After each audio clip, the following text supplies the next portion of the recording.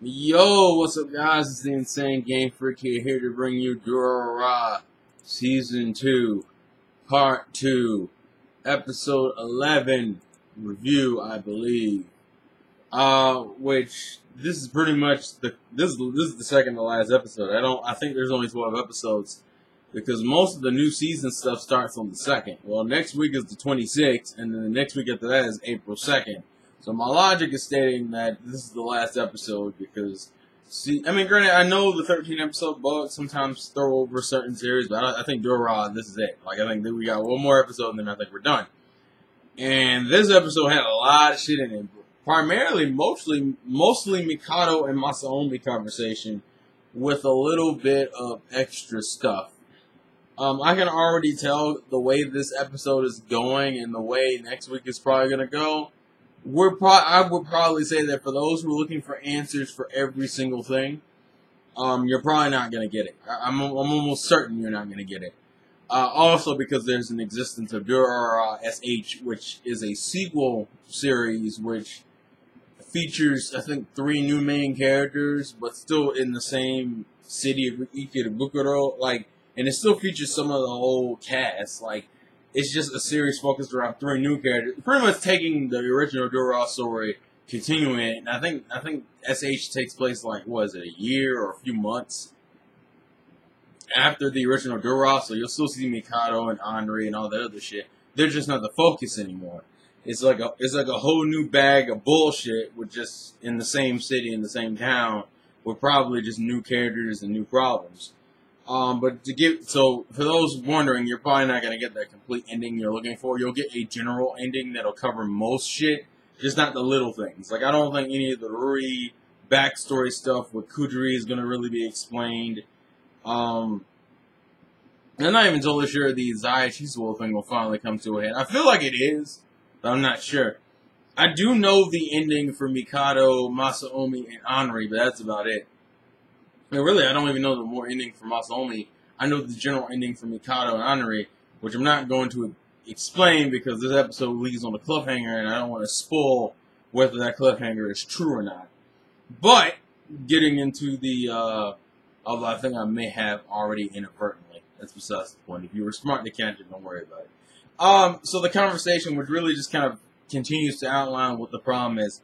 Mikado Mikado's like a it's like a it's like a disturbed nice guy, and it's it's very weird because even at his core, he's still a nice guy. Like you know, it's it's like when we hear the gunshot go off in the episode, it's like oh he he missed and only it scratched Masaomi's face because he's still trying to half-heartedly shoot, and then you see him get shot in the knee, and what that really is is him.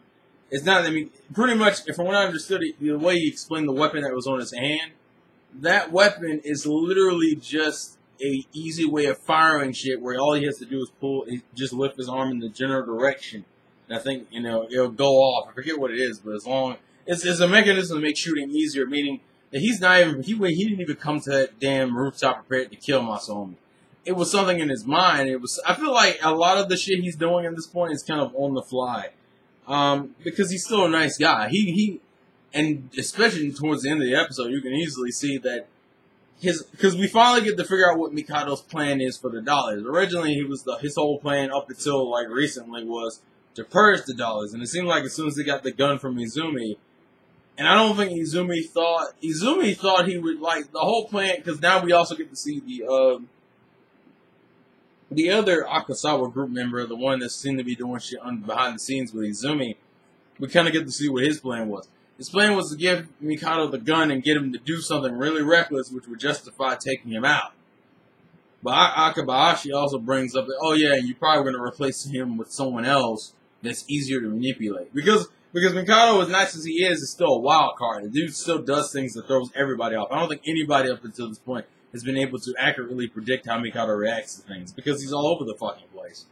Um, and it's, it's just partially due to the fact that he's a nice guy who has the obsession of dealing with the things of dealing with the unknown. Like that seems to be the core of his personality.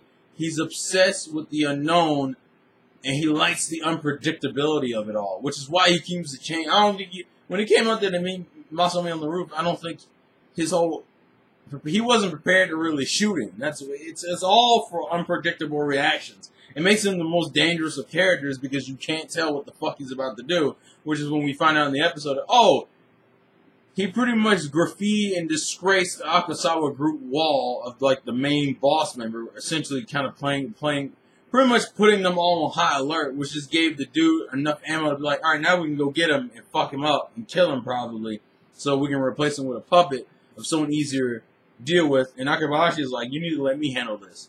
And the reason why, and it's already kind of obvious why he wants to handle it, because he wants to do it in a way to save Mikado before he really does something stupid and it's mainly for Anri's benefit. It's not like he owes Mikado anything specifically. I think it really is just that he knows how Anri would feel. He doesn't want Anri to feel, but he he doesn't want Anri to go through that type of shit. So she he rather do do one of her friends a favor, so she would keep because that's what it is. Like I want you to keep smiling, so I don't want I don't want to see your friends go to jail. And plus, up until this point, he still hasn't. He's getting really fucking close, but he hasn't really done anything irredeemable yet. Irredeemable is killing Masaomi. At that point, is you you've lost. And the worst he's done at this point is you shoot him in the knee, which is I don't I think Masaomi has no problem like shrugging off in the grand scheme of things, as if he doesn't die. Um, because at the end of the episode, you see he's he's trying to commit suicide. He goes from resetting the dollars because, and I get, and the plan was actually pretty clever. You start some shit with the group, so anybody who's anybody already knows who the Akasawa group is you will stop calling yourself a dollar if you know that the group is running around trying to kill dollars. We're gonna are, gonna put the are gonna put the brakes to the dollars, and that's the way you get rid of the dollars with the fear of a fucking group running around trying to kill, which isn't a bad plan because there aren't many people are gonna keep doing this shit, and only the dumb ones will. And that's someone, and yeah, it has to be a special type of stupid. You got to be willing to take down the entire organization. Although I can't tell if Mikado had the intention of dying beforehand, though. And I don't think he did. I think he just planned, he knew that it was going to get worse and worse from this point forward.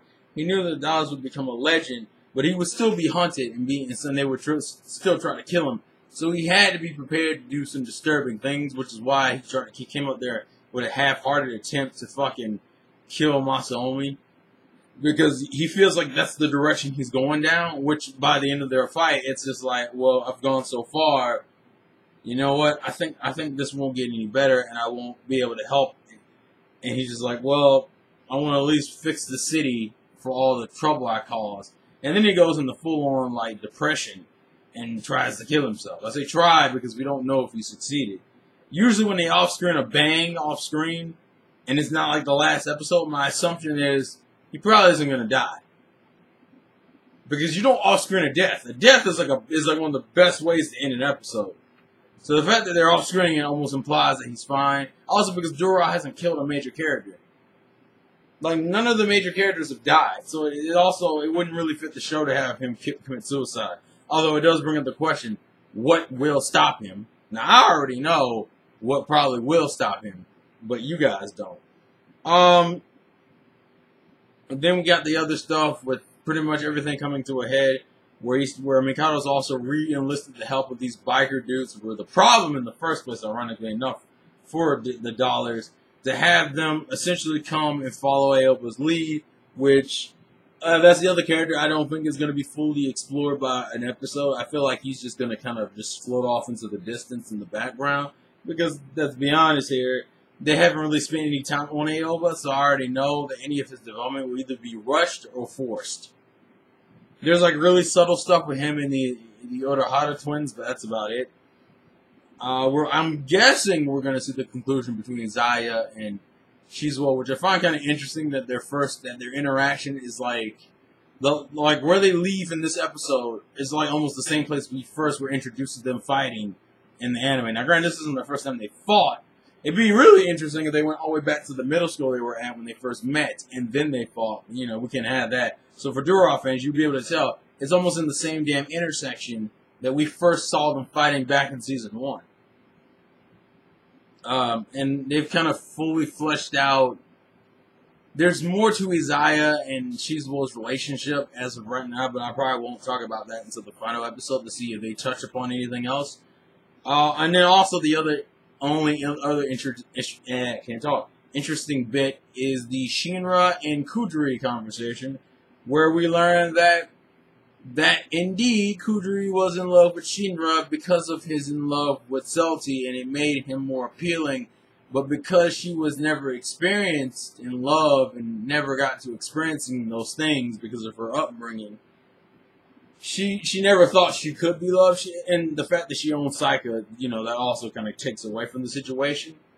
But I feel like he she fell in love with him, and half of the reason why she did what she did to Celty was partially because of job related. And I think the other half was jealousy, which she already openly admitted to the second half. The first half was pretty obvious too. But it's like, but the problem, the only problem I have with this interaction is that it's literally answering a question that no one really wanted an answer to in the first place. Like when we saw, like when we saw cat, Kudri kidnap Shinra, we all knew it was probably for the job because we had already heard beforehand that it was that it was supposed that he was supposed that she's supposed to deliver Celty to the guy. So it's like I didn't really like I don't think anyone really gave a damn if you were in love with Shinra because these characters have barely interacted. Like this is like the first or second or maybe third time they've interacted in the entire series. I think it's, it's probably only the second time actually. The first time being when she kissed him. That was it.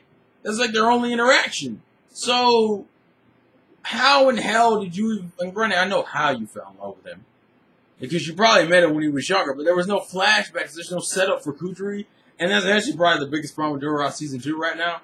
In general, is the fact that it introduces a lot of characters that don't even get fully fleshed out stories. Same thing with Ruri. Ruri is just kind of introduced in the beginning of season two, and then like completely dropped by the end of it. So I'm like, well, what the fuck was the? Why'd you even introduce it? By the time you got to put shit that was relevant, she was gone.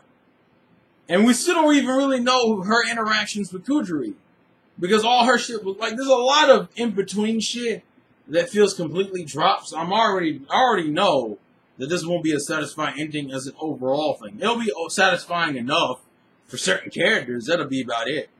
I mean, granted, Ruri's situation right now is fine. I mean, she's with Shu, she's with Shuhei. Is it Shuhei or Yuhei? I think it's Yuhei. Shizuo's younger brother. That's the point I'm trying to make.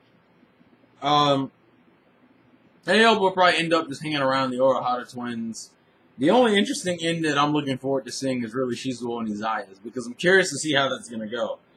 And also, I'm pretty sure Celty and Shinra are going to be fine, which means I can only imagine the episode really primarily be, and then we still got to deal with all this fucking psycho shit. That also means that the way this ends is going to be pretty simple. Um, because we still got to get, we still got to do something with Takashi, which somebody's got to handle. Somebody's got to handle in some way. Um, or Takashi, because Takashi was already freaking out when he saw Shizuo. He was like, "Oh God!" And now you can kind of see what he was going to do. He was going to use Tom. He was going to use Tom as kind of a bargaining chip to stop Shizuo when they take control of Shizuo and all this other shit. Um, although I'm trying to figure out how Takashi got involved with Kudri because Kudri knows who Erika's talking about when he explains who it is. I'm like, how do you know about Takashi anyway? The only characters like Takashi. That's the this is the one thing I don't get. Takashi is way more involved with characters that I don't get why he's involved with. Like, how do you know Kotaka? How do you know Shizuo for that matter? You and Shizuo, I don't even think you've ever interacted. The only characters you should know is Haruna, fucking Anri, and maybe Anri's friends by association. You've never even met Mikado or Masaomi, so I don't even get that. So the fact that Kudri is aware of Takashi confuses me on a completely different level. Also, uh, um, first actual confirmation that the guy is indeed Takashi. But it still brings, like, I'm still confused about his association. Like, I see what he's doing, but he really doesn't have the, but I don't understand his motivations. And maybe that's just me, maybe I missed something, but someone can let me know in the comments. Um, this, it's, it's so fucking cluttered right now that this can only be a, which prior explains why there's a sequel series, which may or may not even go into the explanations for why certain these certain characters. Because really, as of right now, the only endings I'm expecting to definitely see is Celty and Shinra's, Masaomi's, Mikado's, and Anri's. Kotaka and them will probably be fine. I'm not expecting that to turn into any type of shit. And that, and maybe Shizuo and Izaya. That's about it afterwards, I, I, feel like everyone else is up in the air. Rui and Yuhei are fine, and Aoba's fine, but uh, yeah. But please leave your thoughts and comments in the comment section below. This has been the Insane Game Freak. Uh, Life's a game, play to win, and I'll catch you guys later. Peace out.